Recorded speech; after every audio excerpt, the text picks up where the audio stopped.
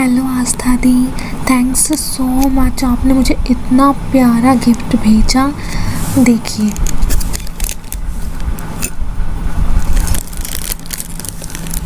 दी देखिए, कितने प्यारे कान्हा जी हैं। थैंक यू सो मच आपने मुझे इतना प्यारा गिफ्ट भेजा।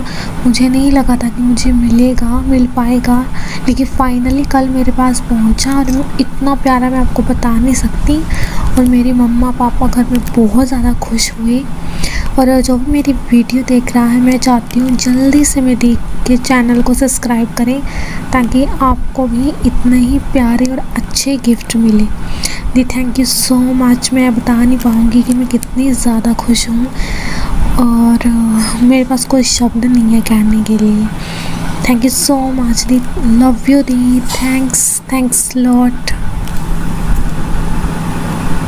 और दी आपकी वीडियो फ़र्स्ट टाइम मेरे सामने आई थी यूट्यूब पर जहाँ आपने वीडियो बनाई थी गिव अवे रूल्स सो मैंने वो देखा एंड मुझे लगा कि आपने जब बोला कि मैं कान्हा से रिलेटेड गिफ्ट दूँगी सो so, मुझे बहुत एक्साइटमेंट हुई और मैंने फाइनली ठान लिया कि मैं फ़र्स्ट आऊँगी और मैं पार्टिसिपेट करूँगी।